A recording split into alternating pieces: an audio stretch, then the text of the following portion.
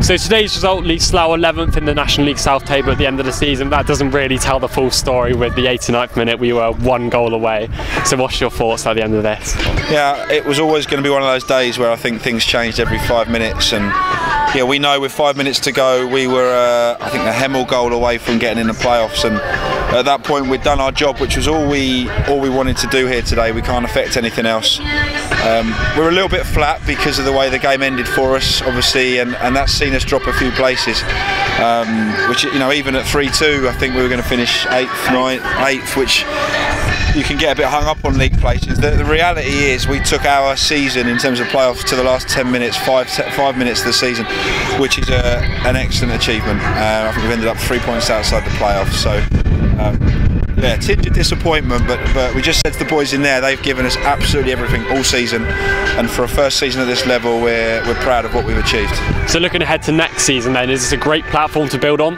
Yeah, I mean, we just said in the change room to finish 10 games unbeaten, six wins, four draws. Um, should have been seven wins, three draws, uh, possibly even seven, eight wins, two draws. Um, but you know, to, to finish 10 games unbeaten in this league is a big achievement. And, we just said that's a platform for next season. You know, we want to we want to improve. We want to bring one or two in, um, but we've got a nucleus of a brilliant squad. Most of them committed to us, and um, uh, we're, we're already looking forward to next season. And uh, yeah, it would have been brilliant, brilliant to have snuck in on the last day playoffs, but it wasn't to be. Um, but we, we did did ourselves justice. We did the league justice.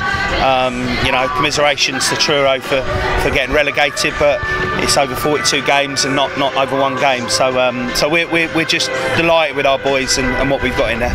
Uh, would you believe then that playoffs is the objective for next season? It, I mean, it has to be. Um, we'll be no different to probably 16, 17 other teams that that'll be their target. Um, if you finish three points outside the playoffs, absolutely. Of course, each year you look to improve year on year. I think the league will be tougher uh, with some of the teams coming into it, so I think it will be a tougher league.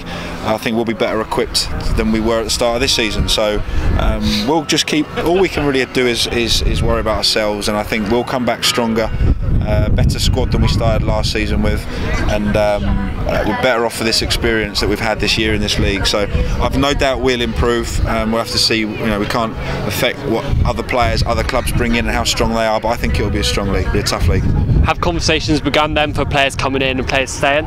Yeah, I mean we're, we're, we're pretty much there, aren't we? Um, you know we've uh, we've got a number of players already committed, as I said.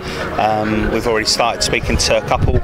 Um, and uh, you know we, we, we know we don't need to do loads and loads to the squad. Um, we're we're, uh, we're going to take stock. Obviously, we've got our cup final. Hopefully, depending on obviously the, the decision. Uh, it'd be nice to finish on a cup final, but if it's not to be, it's not to be. Um, um, but we'll take stock. But we, we know that we've got a, a really good bunch in there. What they are is they're honest. We're never going to be the biggest players in, in the league and, and, and whatever else, but we, we've got bundles of um, heart, character, um, desire, and uh, and some good players in that change room. So we're we're looking forward to it, and uh, we're, we're looking forward to the break. Uh, but but we're also looking forward to coming back, aren't we? Yeah, yeah. Not looking forward to buying all these beers. So I think there's, uh, I mean, the support all, all season's been absolutely incredible. Um, and and I, I, mean, I don't know what we've got here today, but it's great numbers uh, to Truro. Um, you know, so massive hats off to them. It's uh, it costs a lot of money to to travel around the country watching them, and uh, hopefully that we've given them a lot to shout about this year, and uh, or the players have at least. And uh, you know, we massively appreciate it, don't yeah. we? Yeah. So um, finally, then, what's your message to the fans, and hopefully going ahead into the cup final next week? Well, I, I would say go and buy your season tickets. Um, uh, it's a fantastic deal as per usual.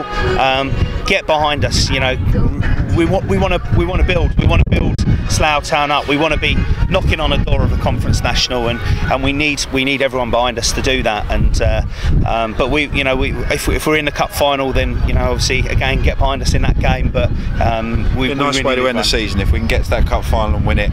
Um, know it will be a, a, fitting way to end the season. I say we've it's been a good day today, but a little tinge of disappointment. I think that one more game would be nice. It'd be nice to finish on a real positive. So, all right, brilliant. Thank you very much.